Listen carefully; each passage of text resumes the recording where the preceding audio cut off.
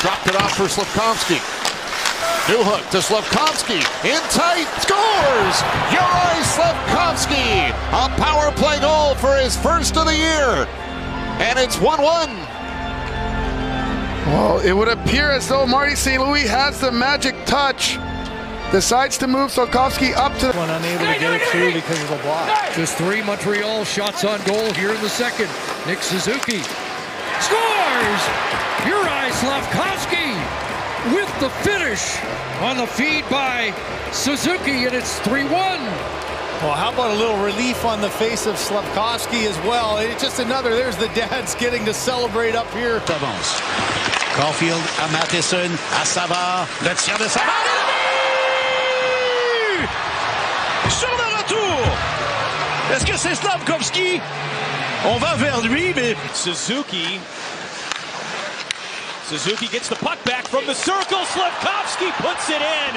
And Montreal has the lead. 3 to 2. And three unanswered goals by the road team, and the Canadiens coming on here. And now, after Suzuki looked like it was a neutral face-off, the Hawks get possession, but it's played back to the point. Gooley just plays it down again, and, and, and now the, the, the Canadiens are really doing a good job of circling. Anxiety took its toll on Jonathan Drouin. Here's Slafkovsky trying to get in front for Monahan. Tipped it wide. Suzuki back to Matheson. Now gets a return pass. Caufield with it. Off for Nick Suzuki. Pass across.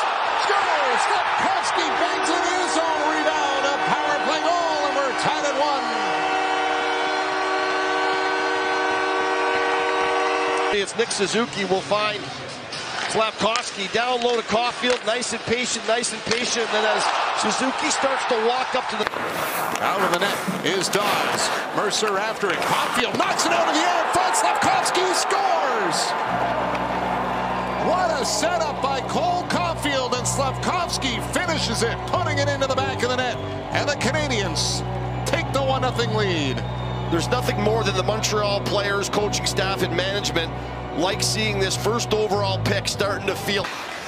Suzuki in front to Monahan. Here's Slafkovsky scores. Juraj Slafkovsky fed it in front and it banks into the net. A power play goal and it's 2-1 Montreal. Well, he was trying to be a good teammate. He was trying to be unselfish. He was trying to get that puck through the blue paint to the back door.